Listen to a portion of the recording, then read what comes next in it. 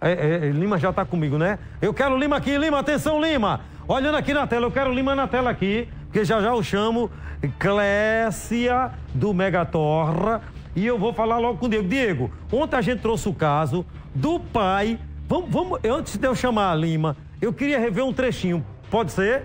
Do pai mandando a mensagem no zap para a filha. Preste atenção, coloca aí. Com áudio, com áudio. Solta. E a, e a letra? Essa mensagem do começo ao fim. Tô sozinha. Né? Deixa. Dormir na cama mais ele, vou dormir no sofá. Aí quando vai no sono, tu levanta e fica no sofá. Deixa tudo apagado, não vejo Não vi nada, aí eu vou pra Tu gosta gostoso. Aí pai, deixa. Eu faço teus gostos, eu faço teus gostos. Quando tu vem pra cá, fica sozinho, tu pode vir namorado, pode falar com quem quiser no celular, não ligo não. Faz teus gostos, aí fala o meu também. Quando tu quiser dinheiro, tu liga pra mim, eu dou dinheiro é tu. E você faz teus gostos. Mas isso aí pode ter Sabe da noite, tu vai no banheiro, tu vai pra lá, não tá eu. Aí no escuro ninguém vê nada não, não tem vergonha não. Isso não tem nada a ver não com o seu teu pai não, não tem nada a ver não. Aí eu fico língua, na minha língua. Faz por favor. Se tu fizer isso pra mim, faço todos os gostos. Faço todos os teus gostos, eu faço. Deixa tu namorar, deixa tu falar com quem tu quiser. Ligo no celular, não ligo mais nada. Eu não ligo. Mas deixa. Deixa por favor. Lá no sofá, no escuro. No escuro não faz vergonha não, né? Primeira vez faz vergonha, mas segunda vez tu vai gostar. Não é isso? Depois, depois disso, quando tu escutar essa mensagem, tu apaga isso. Essa mensagem do começo ao fim, isso.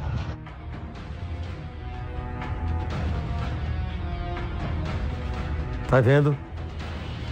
Cabra de peia, né? Lima, nesse momento, está em Lucena. Está em Lucena. Eu vou pro outro lado ou fica aqui mesmo? Aqui tá bom? Sim. Para aqui, para perto de Lima. Aqui assim, né? Ficar pertinho de Lima. Lima, eu estou notando você nervoso. Eu sei que tem um caso lá de bananeiras, que eu estava olhando aqui, daqui a pouco a gente fala, mas não é agora. Segura aí um pouquinho o caso de Ana Sofia. Segura aí. Depois eu falo para vocês o que é e Diego deve falar também. Olha, Lima, esse pai aí, esse pai. Esse pai é um canalha, não é, cara? E você tá aí outra vez por quê? Porque ontem você falou com a mãe da menina. E hoje você foi para Lucena para fazer o quê?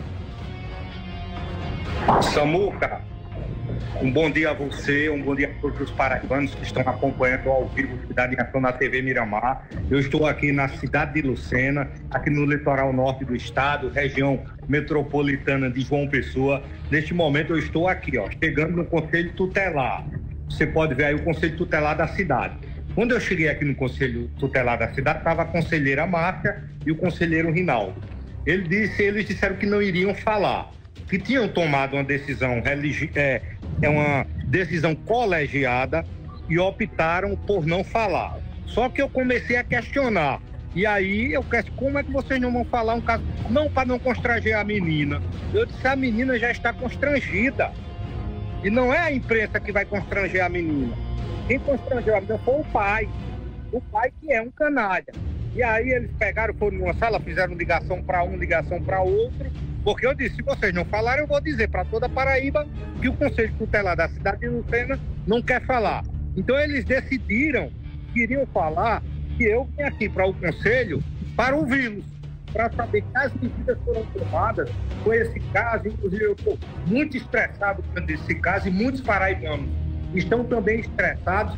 E nós viemos aqui ouvir os conselheiros tutelar aqui para saber quais medidas, quais apoio o Conselho Tutelar aqui de Lucena está é, tá tomando com relação a esse caso. Dizer que a gente está pela internet, porque o sinal aqui na cidade é muito ruim e não deu para enviar o link.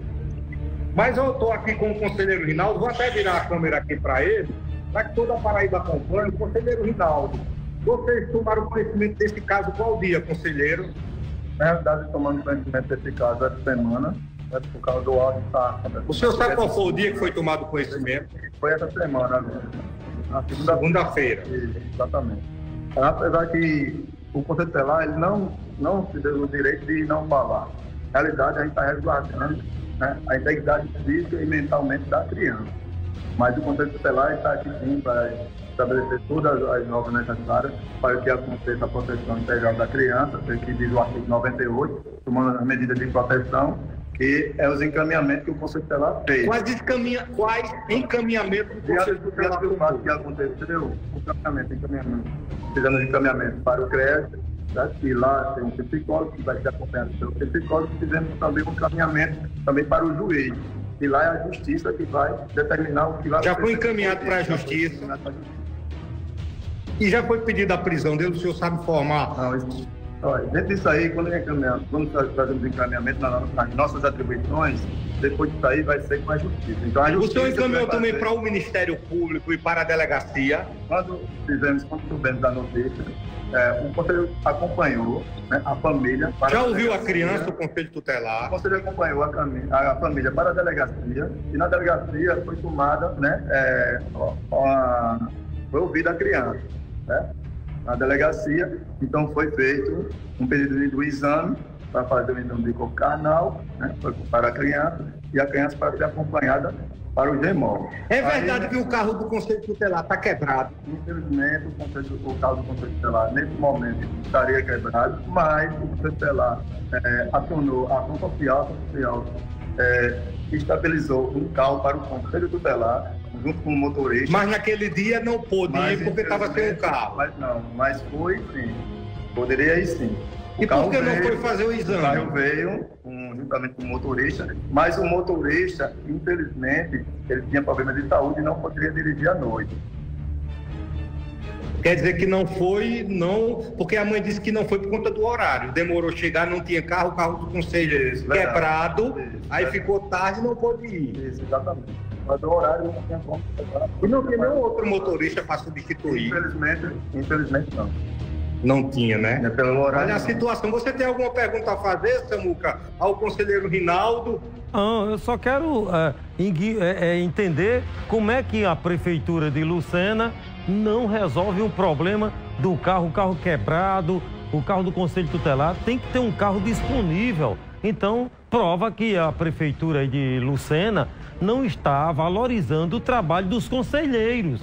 E agradecer a ele por ele ter aceitado para falar, para explicar sobre o caso, porque esse é um caso revoltante. A própria comunidade aí do local onde mora a, a jovem não quer nem ver o pai da menina. O padrasto da menina também não quer nem ver a cara do pai. O padrasto respeita a menina, cria ele como filha, respeitando, enquanto isso o pai não. Agora é interessante, não é como é que uma prefeitura deixa um carro do que serve ao conselho tutelar quebrado por muitos dias. Aí agora vão resolver ajeitar o carro. Isso é um negócio, é um absurdo, cara. É um absurdo. É contigo, Lima. Pois é, Samuca, aqui também dá o outro conselheiro tutelar de plantão, o seu nome. Novinho também está acompanhando o caso, né, Novinho? Acompanhando, diante desse esforço que eu parei para saber, né? É, de, mas o conselho está aqui empenhado a resolver toda essa situação, como o companheiro falou, todas as medidas foram tomadas, os caminhamentos necessários, notícia de fato junto ao Ministério Público, que é o juiz e a delegacia, e o Conselho está de prontidão para fazer o que necessário em relação à defesa da criança, dessa criança. Obrigado. Também está aqui a conselheira Márcia. São os três que estão de plantão, recebeu a gente com muita cortesia. Eu quero agradecer. A conselheira também está acompanhando esse caso. Todos os cinco estão. Todos os cinco Todos acompanhando. Os cinco Foi um caso que chocou até vocês que trabalham com isso no dia a dia, é chocante, né? Mas todas as suas foram tomadas. Tá bom, portanto, Samuca, eu vou agora na delegacia saber se já foi pedida a prisão dele, quase foram requeridos. Se der tempo, eu no fórum e no Ministério Público, mas parece que é em Cabedelo, né? O agente do Ministério Público está funcionando em Cabedelo. Eu vou na delegacia agora. Tá bom? É com você aí. Beleza.